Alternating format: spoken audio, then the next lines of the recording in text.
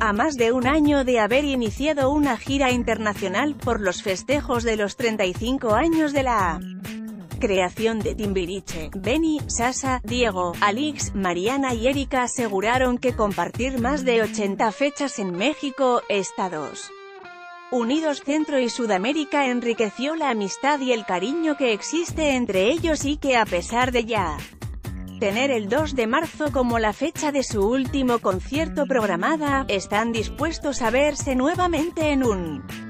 futuro para entonar los temas más emblemáticos de la banda. En conferencia de prensa, los integrantes aseguraron que el haber compartido tantos momentos juntos acrecentó el cariño que se tienen y que con la madurez de cada uno los momentos se convirtieron en únicos e irrepetibles. Si me hubieran dicho esto de reunirnos hace tres o cuatro años antes les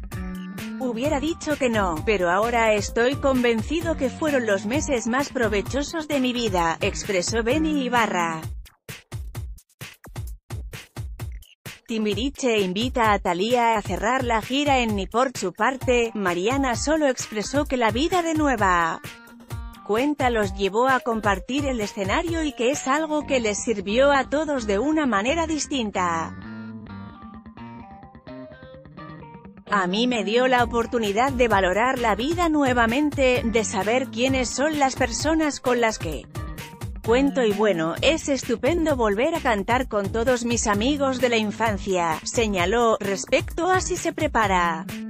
un material especial de despedida o un concierto masivo que culmine con sus presentaciones, Sasa aclaró que lo ven complicado.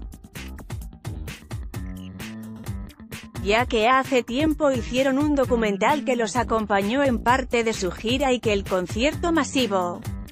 ya ocurrió en esta gira de despedida, nos tocó presentarnos en el Zócalo capitalino, llegaron más de 120.000 personas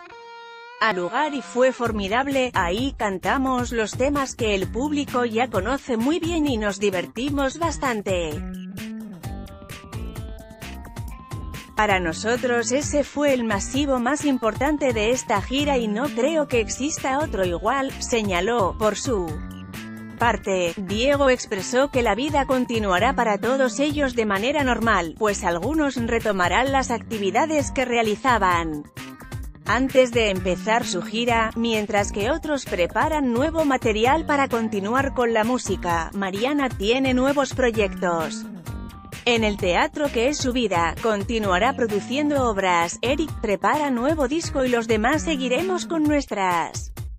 vidas tal y como las dejamos, no hay sorpresas, solo continuidad, señaló. Por su parte Alix reveló que el libro que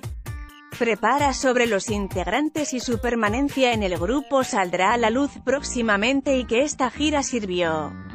para recopilar mayor información y recordar otras cosas que le sucedieron durante su niñez y que por el paso del